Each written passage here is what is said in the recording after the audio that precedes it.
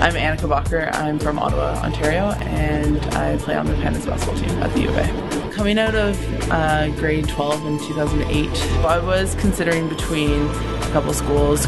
U of A offered the academic program as well as a great athletic and basketball career um, with competitive athletes and great coaching staff, so it was just a right fit all.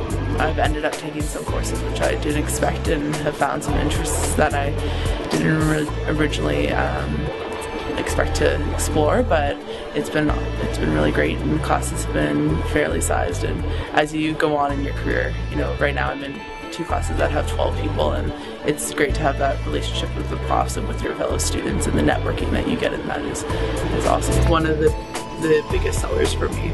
Um, knowing that I wanted to move out of town, I needed to know that I was going to someplace that um, basketball was more than just basketball. It was a lifestyle, it was a family, it was, you know, a social circle. When you're on a varsity team, you're automatically thrown into a, a family atmosphere and it's fabulous. Like you become a unit and, and you socialize together, you struggle together, you worked hard for something, you accomplish things. I live right off of Whyte Avenue and I have to say I adore biking down it every morning, every night. The culture on that street and in, and in this area is fabulous. And one of my favorite hangouts is the Princess Theater and go to all the indie films there and the coffee shops along there. And yeah, and Whyte Ave is simply great.